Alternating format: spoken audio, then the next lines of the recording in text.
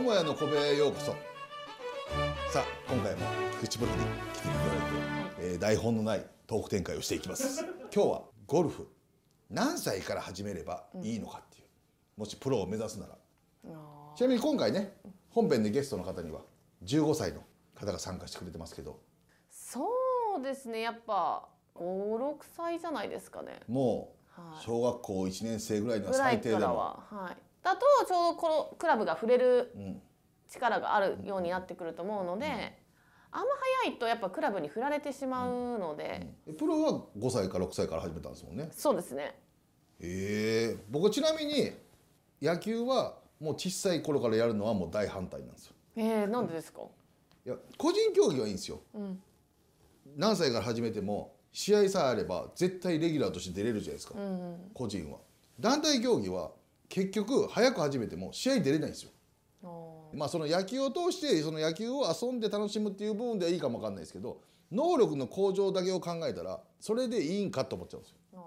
個人の見解です うちの子供はだから今水泳とか体操を生かしてるんですよ。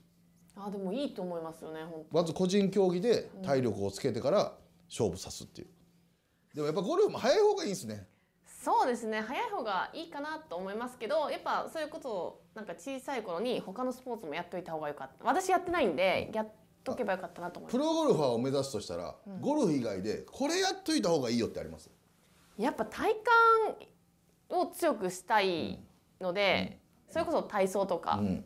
水泳とかやっておきたかったなと思いますけど。野球はどうなんですか？だってなんかバット振ったりしたりティーバッティングしたりしてる人いるじゃないですか。プロでも練習で。いますね。っていうことは野球はいいんかと思ったりもするんですよ。私野球やったことないんで、そうですね。まあそれもね。いやバッティングセンター行ったんですよ、はそしたらコーチじゃないですか、はここにボールが当たったんですよすごくないですか？い、すごい。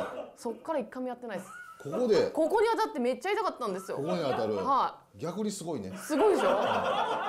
どうやって当たるんですか？だからこうこう構えるじゃないですか。あで多分ゴルフスイングだからこういう感じなんですよ。ああで多分ここの辺に当たったんじゃないですかああ肘伸ばしすぎですよね。